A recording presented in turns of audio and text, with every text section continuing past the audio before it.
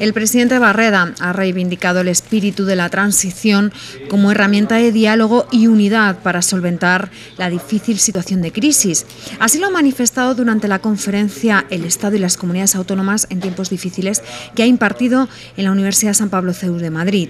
Creo que la situación es lo suficientemente grave o seria como para que hiciéramos un esfuerzo por compartir por estar juntos, por remar todos en la misma dirección, por tener la grandeza de miras de dejar a un lado las diferencias lógicas y legítimas que tenemos, que tienen los partidos políticos en pro del interés general y de conseguir, salir entre todos de una situación que efectivamente es muy complicada.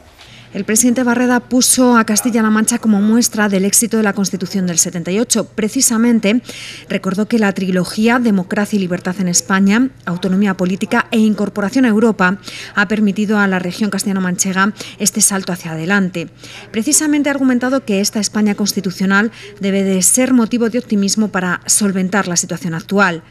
Mi fe en España y en su futuro no es la del carbonero no es puro voluntarismo acrítico, ni es tampoco un planteamiento bien intencionado que ignora nuestro pasado complicado y las dificultades presentes. Por el contrario, soy optimista pese a ser consciente de que la situación es compleja y difícil. El presidente Barrera culminaba la conferencia manifestando que los gobiernos autonómicos como el suyo tienen capacidad de maniobra para superar la situación.